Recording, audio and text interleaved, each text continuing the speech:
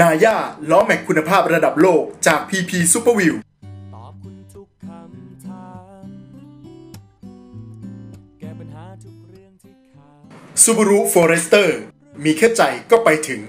การรถไหมจะปรึกษาใคร ให้พวกเราสปีดทอช่วยตัดสินใจ ไปพร้อมคุณ ครับกลับเข้าสู่รายการของเรากันต่อนะครับ ท่านกำลังรับชมรายการ Speed Talk ครับ ทางทูชั่นช่อง 691 ครับ และทูโนเลตช่อง 74 ติดต่อพวกเราครับ 02 530 9496ถึง98 SMS 482 7772ซินวักตามด้วยข้อความครับ ขอบคุณ B Quick เต็มที่เพื่อลดเต็มร้อยเพื่อคุณ ขอบคุณ CL อะไหล่ยนต์จำหน่ายอะไหล่รถยนต์เก่าใหม่ทุกชนิด 02 235 5722ถึง3ขอบคุณชสชัยสวัสดิ์บางนาตราดกม10ขาเข้า ขอบคุณวิชัย ECU Flat and Dino King และขอบคุณช่องอัพออซี่ที่สุดของช่วงล่างต้องออซี่เท่านั้นครับมา ปิดสายนะครับ แล้วก็ SMS นะฮะมา เขาถามว่า Mazda ตัวใหม่ครับ ที่เป็นเกียร์ธรรมดา มีมีตัวเกียร์ธรรมดาหรือไม่ที่ไม่ใช่ที่แบบ auto paddle shift นะครับ ตัวผมไม่ค่อยมีความรู้เรื่องรถเลยครับ อยากทราบว่ามีไหมพาด้าตัวไหนมาด้ารุ่นไหน ใช่ถ้าถ้าเป็น manual ร้อยเปอร์เซ็นที่ต้องเหยียบเท้าเหยียบคลัตช์เนี่ยอืม มีแค่ BT 50 Pro อย่างเดียว ที่อืม Mazda ปัจจุบันนะ อืมแต่ถ้าเป็นลายรถเก๋งรถ SUV เนี่ยเป็นออโต้หมดแล้ว ไม่มีรุ่นเกียร์ธรรมดาให้เลือกแล้วนะใช่ ปัจจุบัน มีแต่เป็นออโต้แล้วก็มีอ่าโหมดเกียร์ธรรมดาให้เราให้เราชิปเองนะครับครับผมมาดูข้อนี้เขาถามว่าการเลือกซื้อชุดแปลงไฟที่จากที่จุดบุหรี่อะครับน่าจะเป็นตัวแปลงจากจุดบุหรี่เป็น USB ครับมีหลักการในการเลือกซื้อยังไงครับยี่ห้อไหนดี แล้วก็จะเลือกซื้อจากที่ไหนดีครับโหเดี๋ยวนี้มันมีหมดแล้วนะ มันมีถึงแม้กระทั่งในปั๊มน้ำมันยังมีขายเลยอะถ้าซื้อแค่เฉพาะหัวแปลงอย่างเดียวก็60บาทแล้วอืม ใช้ได้แล้วล่ะในปั๊มน้ำมันก็โอเคแล้วนะก็ต้องดูครับที่มันมีมอกมาตรฐานอุตสาหกรรมในสลากผมว่าก็ได้หมดอะ จุดที่ควรจะสังเกตของชุดอะแดปเตอร์ก็คือ คุณควรซื้อให้ตรงกับขนาดกำลังแรงเคลื่อนไฟที่คุณกำลังจะต้องใช้ เหตุผลเพราะว่าเวลาต่อจากที่จุดบุหรี่เนี่ยก็จะมีตัวค่าโวลต์แล้วก็แอมป์ของกระแสไฟ DC กำหนดอยู่ ไฟที่คุณจะใช้ดึงจาก USB ไป คุณใช้ค่ากี่แอมป์อะแดปเตอร์แต่ละตัวมีค่าความสามารถในการรับโหลดต่อไฟเนี่ยแตกต่างกัน เพราะฉะนั้นถ้าเกิดคุณไปใช้โหลดสูง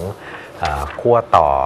ความร้อนที่เกิดขึ้นจากการใช้กระแสไฟสูงมากเกินจากตัวขั้วต่อที่มันสามารถรับได้เนี่ยก็อาจจะทำให้เกิดความเสียหายกับตัวชุดที่ไปพ่วงต่อ USB เองทำให้เกิดความร้อนเกิดเพลิงไหม้ได้เหมือนกันอืมกรณีใช้ของที่ไม่มีคุณภาพนะครับ รับสายเลยไหมครับ รับสายคุณปิ๊กครับ สวัสดีครับ ครับฮัลโหลครับ ครับ ครับ ครับ เชิญครับ เสียงเบาไปหน่อยฮะเออเผอิญจะถามเรื่องจะหาซื้ออะไรรถยนต์อะไรหน่อยอะนะครับ แต่ไม่แน่ใจว่า CL คือผมใช้ฮัลโหลครับ ได้ยินไหมครับได้ยินครับเพราะคือผมใช้ เดี๋ยวเดี๋ยวผมปิดโทรทัศน์โทรทัศน์นิดนึงนะฮะจะได้ฮัลโหลครับ ครับ โอเค ผมใช้ Toyota Camry 2.0G ปี 2007อะนะครับ เออเผอิญไอ้ตัวโชคที่ค้ำฝากระโปรงนะครับ มันมันมันมันมันค้ำไม่ได้แล้วอะมันมันคงเสียนะครับ หรือไงมันใช้หนาจะไปหาซื้อได้ที่ไหนอะครับมือสองอะไรอย่างเงี้ยครับของตัวใหใหม่ม่ได้ของครับที่สูง CL ก็ได้แพงครับมากเลยฮะ CL ครับ CL มีเหรอครับ มีครับ คืออันนี้ของ CL เป็นเป็นของ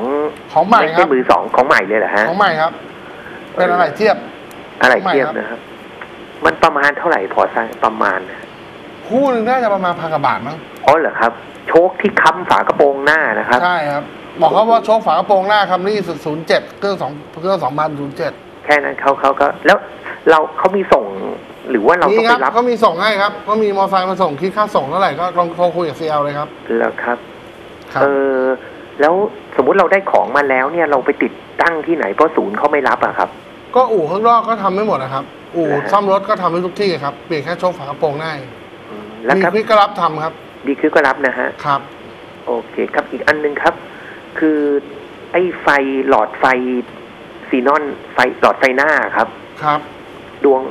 ผมไม่แน่ใจว่ามันคือมันไม่ติด มันไม่ไม่รู้ว่าเป็นหลอดหรือเป็นบัลลาดหรือเป็น starter อะไรอย่างเงี้ยครับร้านใดใหญ่ๆเช็คได้หมด B-Quik ก็เช็คได้ครับเหรอครับครับเออคือคือเราพอเราไปถึงเนี่ยแล้วเขาเขาจะยังไงเขาจะเปลี่ยนหลอดให้เราเลยหรือว่าเขาจะเขาเช็คอันต้องนี้เช็ก่คอนก่อนครับ ว่าเสียที่หลอดหรือที่บลาดร้านใดใหญ่ๆทำได้หมดนะครับ ตอนนี้ตอนนี้ขาดกี่หลอดครับ ข้างเดียวหลอดเดียวรืสงด้านซ้ายอะครับก็ถ้าช่างเทคนิคอาจจะมีการสลับนะครับ ถ้าไม่มีของอุปกรณ์ให้ลองเนี่ยเขาจะสลับข้างที่มันติดอยู่มา มาใส่ข้างที่มันดับ ว่าอะไรที่มันครับเสียว่าว่าหลอดมันเสียหรือเปล่า ใช่ ถ้าหลอดเสียก็เปลี่ยนเฉพาะหลอดถ้าประหลาดเสียก็เปลี่ยนประหลาด เหรอครับ ครับ หลอดหลอดนึงไปหาซื้อที่ไหนหรือ CL อีกเหรอครับ CL ก็มีครับ อืมมันเป็นใบรุ่นนี้มันเป็นอะไรหลอดหน้าใบทีนอนใช่ไหมคือผมผมเคยไปเปลี่ยนตอนตอนซื้อรถมาครับ แล้วครับ ผมไม่ชอบไฟมันรู้สึกมันจะเป็นโปรเจคเตอร์หรือไงอะครับ แล้วแล้วผมก็ไปทำร้านพวก อะไรเขาเรียกแบงค์แบงค์คินอะไรที่มันเป็นร้านไฟอะฮะ ครับ ผมจำไม่ได้แต่นานมากแล้วตั้งหลายปีแล้วแล้วก็นะครัเปบ ลี่ยนเป็นอะไรมาครับ ผมไปให้เขาไปทำเป็นใบซีนอนนะครับ ที่เขาเรียกกันอ๋อมันมันมีใช่ไหมตอนฮะนี้ไปทำข้างนอกที่มันมาที่ไม่พอใช่เปิดไฟแล้วมันค่อยๆ สว่างจากก็น้ำแสเงิดนงว่าม่วงทำข้างนอกแล้วมามาเป็น ก็เปลี่ยนข้างนอก แต่ถ้าเกิดว่าทำข้างนอกมาแล้วเนี่ยอาจจะต้องโดนยกคู่ ถ้าหลอดก็อาจจะต้องเป็นเป็นหลอดยกคู่ เพราะว่าค่าไฟมันคงไม่เท่ากันอะ เพราะก็เปลี่ยนยกคู่สบายใจ ก็เข้าร้านไฟธรรมดาก็ได้ครับที่เคยไปทำก็ได้ครับ เพราะมันมีเป็นเรื่องของจำนวนเรื่องวัตต์อีกใช่ไหมครับ ใช่ครับ เพราะมันไม่ใช่ค่าโรงงานปุ๊บผมกลัวมันมากน้อยไม่เท่ากัน ค่าเคลวินมันไม่เท่ากันอะเออเออฮะอ๋อก็แล้วไปอย่างทำนี้ร้านไฟที่เราทำมานะครับ แล้วเขาจะต้องเปลี่ยนคู่เลยเหรอครับ ถ้าอย่างนี้ยครับ ก็ถ้าเขามีอะไหล่ข้างเดียวตรงงั้นเขาอาจจะเปลี่ยนข้างเดียว ถ้าเราไปเคยไปทำร้านไหนมาเราก็ย้อนกลับไปที่เดิมถ้าเขามีอะไหล่ข้างเดียวเขาอาจจะขายข้างเดียวผมถามหรือบางที่ถ้าเขาไม่มีอะไหล่เขาก็ต้องขายยกคู่อ๋อผมเคยไปทำมันอันนั้นมันไกลมากรู้สึกจะรันอะไรอย่างนะฮะ ถ้าผมจำไม่ผิดอ๋อแถวรัตนาธิเบศมีร้านไฟแบบนี้ครับ มีครับ แถวบ้านก็ตอนนี้มีไหมถ้าถ้าไม่งั้นเป็น Autobacs ก็ได้นะครับ Autobacs เดี๋ยวนี้เนี่ยอะไหล่ชุดไฟของ Philips เอง ถ้าเกิด ช่างที่ Autobacs ดูให้บางทีเขาอาจจะเทียบแสงที่ใกล้เคียงกันได้อ๋อถ้าไม่ได้จริง ๆ เปลี่ยนคู่เนี่ยเดี๋ยวนี้ราคาเริ่มต้นของชุดไฟซีนอนไม่แพงแล้วครับ แล้วก็ Autobacs ก็มีรับประกันทั้งตัวอยู่ชุดอหลยู่อดที่ไหนแล้วคก็รับคุณมิตรครับออโต้แบกอะไรนี่ไม่เคยได้ยินนะเออโต้แบกตอนนี้มีอยู่ 2 สาขานะครับอสายู่ขาแรกพัฒนาการครับอีกกับสาขาหนึ่งก็อยู่ตรงเอ่อเส้นนราธิวาสนาทิวาสโอ้ในครับเมืองเลยนะครับครับโอ้โห ไกลไหม แต่แต่จริง ๆ แล้วแถวแจ้งพัฒนะก็เยอะแยะครับงามวงวานก็บ้านเยอยู่อะไหนเอางี้ดีผกมว่าอยู่บ้ารันอยู่ไหนตนาธิเบศครับฮะรัตนาธิเบศครับ อ๋อแล้วนาทิเบศก็ร้านไฟแถวรัตนทิเบศผมว่าเยอะแยะออกแถวราชพฤกษ์พระรามห้าก็มีมั้งใช่ไอ้พวกนี้พวกร้านอุปกรณ์ตกแต่ง พวกไฟไดนาโมอะไรพวกนี้แบตเตอรี่ เออร้านครับใหญ่ๆอะที่เขาขายไดนาโมแบตเตอรี่ร้านใหญ่ๆเขาทำไฟด้วยครับ เยอะแยะ คือคือกังวลว่ามันจะแพงใช่ไหมครับ ใช่ไหมครับ แล้วแล้วเราก็กลัวไปโดนเขาหลอกแบบแล้วบางทีอาจจะเป็น ballast starter มาขอขายอะไรอย่างเงี้ยครับ ประเด็นคือแต่เคยไปถามที่ศูนย์แล้วโอ้โหศูนย์แพงมากอะครับเพราะศูนย์มันเป็นของแท้ไงครับครับเออแต่เขาที่เราใส่มาไปเป็นไฟแต่งใช่ราครับคาแต่มันแต่ก็เป็นไฟเริ่มแบตั้บงแต่คู่หนึ่งก็เริ่มตั้งแต่ 2,500 บาทนะครับ มันก็แล้วแต่ว่าเราจะเอายี่ห้อไหนออกคู่อันนั้นก็ราคาคู่หนึ่งแล้วนะสองพันกว่าบาทนะนะครับผมแล้วแต่ว่าเราจะเอายี่ห้อไหนอะครับเพราะมันเป็นไฟตกแต่งไงครับ หรือจริง ๆ ก็กลับมาเป็นไฮโดรเจนเหมือนเดิมก็พอเท่านั้นถ้าฮาโลเจนมันก็จะเป็นก็ต้องเปลี่ยนคู่อีกใช่ไหมครับ ใช่ครับ แต่ว่าผมไม่รู้ว่าคุณทำยังไง เราไม่เห็นรถอะ เข้าร้านไฟอะ ผมว่ายังไงก็ไม่น่าจะโดนอะ ไม่ไม่ไม่ต้องกังวลนะไม่ต้องกังวลนะคเพรับราะว่าเดี๋ยวนี้ไฟชุดไฟทีนอนชุดตกแต่งอะมันมันเริ่มต้นจากราคา 2,500 บาทอ๋อแล้วแต่ว่าเราจะเอาประมาณแบบไหนครับ ครับครับคครัรับบอีกอีกนิดนึงคือคือขอแจ้งเผอิญผมผมเพิ่งเอารถไปเข้าศูนย์ที่บอกเนี่ยนะครับครับศูนย์โตโยต้าเนี่ยปกติผมเนี่ยเข้าศูนย์ประจำทุกๆหมื่นโลอะนะครับครับ แล้วเขาก็นั่งเช็คเขาก็จะมีรายการเช็คของเขาอะที่แสนที่แสนหมื่นแสนหนึ่งแสนสองแสนสามอะไรของเขาอะนะครับ ผมก็ไม่รู้หรอกครับว่าเขาเช็ค อะไร แต่เผอิญคือทุกครั้งที่เขาเช็คเนี่ยเขาก็จะแจกแจงให้เรา แล้วก็ไปเช็คพอเช็คเสร็จเขาก็จะมาบอกว่าเนี่ยรอบนี้ที่แสนสี่เช็คนู่นเช็คนี่เช็คเช็คเสร็จแล้วเขาบอกว่า อ่าเป็นปกติหมดนะ ระบบไฟฟ้าแสงสว่างปิดปกติ ผมก็ผมตัวผมเนี่ยรู้อยู่แล้วว่าแสงไฟแสงระบบไฟฟ้าคือไฟเรามันหลอดขาดหลอดนึงอะครับ ไอ้เราอะรู้ แต่ไอ้ช่างที่มันนี่คือศูนย์นะครับ นี่แจ้งให้ทราบอะครับ แล้วผมก็เลย ขนาดเขาช่างช่างจากศูนย์มาแจ้งเนี่ยไฟฟ้าสองสว่าง ติดปกติดีไม่มีปัญหาก็ก็เขาก็แจ้งอย่างเงี้ยตอนจะจ่ายเงินนะครับ สุดท้ายผมก็โวยเข้าไปเลยอะครับ ว่าก็ผมรู้อยู่ว่าไฟไบซีนอนผมไฟหน้าซ้ายมันมันไม่มันไม่ติดอะครับ คุณจะมาบอกว่าติดได้ยังไงอะพอโวยไปเขาก็คนคนเจ้าหน้าที่เขาก็ไม่รู้ เพราะทางช่างเขาแจ้งมาแบบนั้นก็เขาก็คนเจ้าหน้าที่ฝ่ายเอกสารก็บอกเราว่าไฟมันปกติ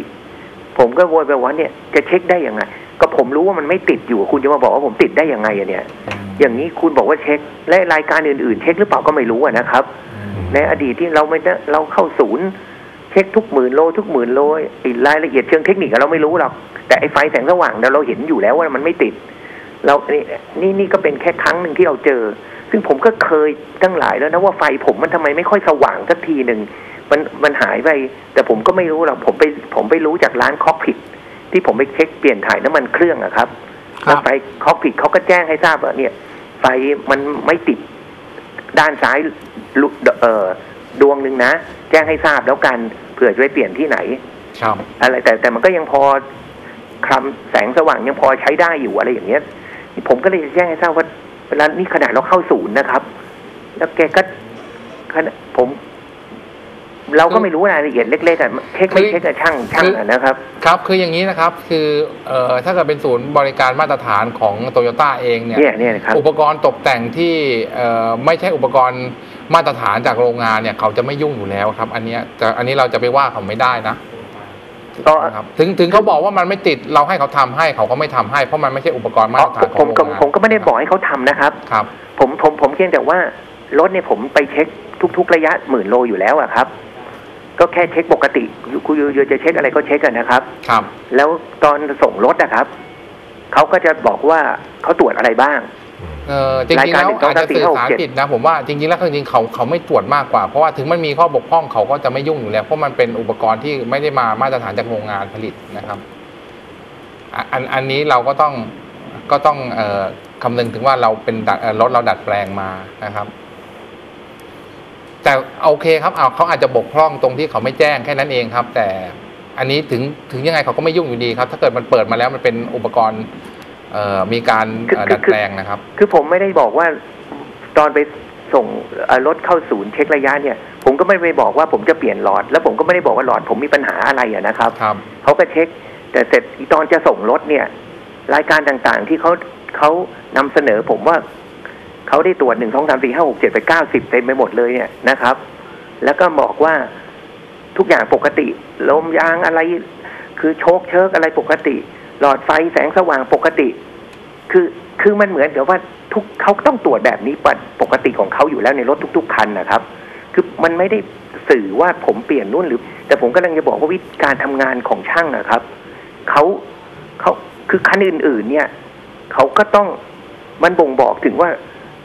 เขาคงไม่ได้ตรวจ แล้วก็มาบอกว่าเนี่ยได้ตรวจตามปกติแบบนี้แล้วก็ทุกอย่างปกติอะครับ ใช่น่าจะเป็นปัญหาบางบางศูนย์คือคือบางศูนย์หรือบางช่าง หรือบางใช่ครับ ช่องช่องอะไรอย่างเงี้ยนะครับครับ กำลังจะบอกว่าและรายการอื่นๆ ตรวจหรือเปล่าเราก็ไม่รู้ไอ้เชิงเทคนิคเล็ก ๆ น้อยๆอะนะครับ รถมันเป็นจำนวนคือคือคือแค่แจ้งให้ทราบว่า มันมีโอกาส แล้วพอผมโวยไปเขาก็ตกใจระดับหนึ่งแล้วเขาบอกว่า ผมก็ขอขอคุยกับผู้จัดการ ให้ทราบแจ้งให้ทราบอะครับ ว่าเนี่ยเนี่ย ช่างทางนี้เป็นอย่างนี้เขาก็ขอโทษขอโพยอะไรใหญ่ว่าครับซึ่งเขาก็ยอมรับผิดว่า คือถ้ามันไม่ติดเขาจะมาบอกว่ามันระบบไฟฟ้าส่องสว่างปกติมันมันไม่ควรนะครับครับ คือมันไม่ใช่เรื่องว่าผมเปลี่ยนเป็นไฟอะไรอย่างเนี้ยผมแค่แค่ว่า ถ้าเขาเขาก็ควรจะแจ้งว่าเออไฟไม่ติดนะเผื่อคุณจะไปทำที่ไหนหรือ คุณเปลี่ยนอะไรมาจากอื่น ผมไม่อะไรเขาก็ควรจะบอกอะไรแบบนี้ครับ เท่านั้นเองอะครับ ครับ แล้วเขาก็ยังมานั่งบอกว่า ถ้าโตโยต้าศูนย์โตโยต้าใหญ่โทรมาเช็คเขาจะมีประกันคุณภาพอะไรอยู่อะครับ ว่าว่าถ้าโทรมาแล้วขอรบกวนให้คะแนนเต็มด้วยนะครับถ้าผมหืมขนาดตัวเองทำไม่ดียังจะขอคะแนนเต็มอะไรอีกครับซึ่งซึ่งผมกำลังกังวลกับคนแจ้งให้รายอื่นรับทราบอีกเหมือนกันนะครับ ว่าก็โอกาสก็ที่เป็เรานไปก็ขเป็นาดนข้เราอเข้าดีคศูรับนย์แล้วอะที่ที่ที่เอ่อเอ่อคุณปิ๊กใช้รถแล้วมีการสังเกตนะครับ อันนี้ก็ถือว่าดี แต่จริง ๆ แล้วนะครับช่าง มันถ้าคนที่อยู่ในอาชีพนี้จริง ๆ จะจะต้องเข้าใจ คือเราต้องเข้าใจว่าไม่ได้หมายความว่าคนที่ทำไม่ดีคนเดียวช่างคนเดียวแล้ว ทุกคนจะไม่ดีหมดนะครับ หรือทุกศูนย์จะไม่ดีหมด แต่มันก็อาจจะมีหลุดไปบ้างนะครับ คือการทำงานที่รัดขั้นตอนเน่ะเพราะว่าพอเปิดไฟแล้ว มันดับข้างซ้าย แต่พอไปยืนมองคือคือไม่ได้มองรอบรถเนี่ยไปยืนอ้าวขวาก็ติดเลยไปดูข้างอ้าวหลังก็ติดก็โอเค ติดก็ติ๊กติดเลยแต่แทนที่จะวนรอบรถอย่างเงี้ยคือมันเป็นขั้นตอนการปฏิบัติที่เขาประมาทเลินเล่อไปนะครับ แต่ไม่ได้หมายความว่าทุกคนในช่างทุกคนในศูนย์จะเป็นแบบนั้นนะครับอือฮึนะครับ ก็ผมแค่ for your information เท่านั้นแหละครับครับแจ้งให้ทราบผมครับผ่านรายการขอบคุณครับเผื่อได้ครับโตโยต้าขอบคุณครับอะไรได้ยินได้เห็นอะไรเขาก็จะครับอะไรเท่านั้นแหละครับ ครับผมฮะโอเค ขอบคุณขอบคุณมากเลยครับ ครับผมครับสวัสดีครับสวัสดีครับคือตามที่ผมเข้าใจก็คือบางศูนย์เนี่ย คือถ้ามันไม่ มันเขาก็จะบอกช่างว่าถ้ามันไม่แท้อย่าไปยุ่ง เดี๋ยวมีปัญหาช่างมันก็เลยข้าวขั้นตอนออกอย่าไปยุ่งกระติกเลย คือแทนที่ไม่ต้องติ๊กก็ดันไปติ๊กไงนะครับอเดี๋ยวงั้นเราไปพักเบรกกันสักครู่หนึ่งครับ ไปพร้อมคุณ